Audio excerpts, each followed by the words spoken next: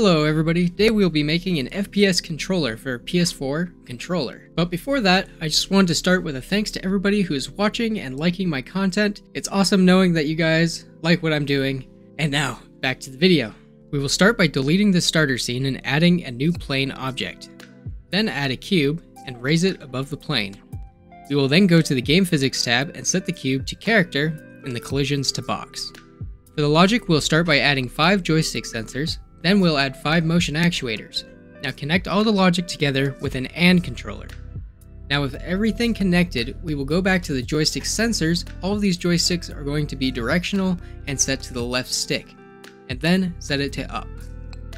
Now we will find the axis that the camera is facing, and we will set our motion actuator to a negative or positive 0.10. This will be our forward direction of movement.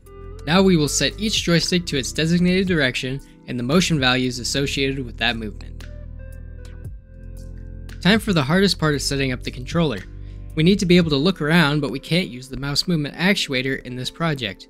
We will have to set up a joystick sensor and, and a property sensor. This will allow us to limit how far you can look up and down. Now for the actuators. You'll add a motion and property actuator, and we'll set the property actuator to add and the property sensor to not equal. Then we'll add a game property called look, set the property sensor to look and the value to 30. Then click the up arrow and set the skip to 5.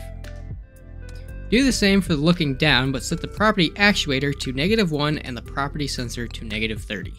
If you're having trouble getting the camera to line up perfectly looking up and down, maybe the camera flips around backwards or keeps on going when it's not supposed to, just play around with the values from 30 to 15 or even change it higher or lower if you need to. You can also change the skip rate and that could help you as well. So I'm going to end this video. Thank you all for watching, hope it helped, and I'll see you in the next one.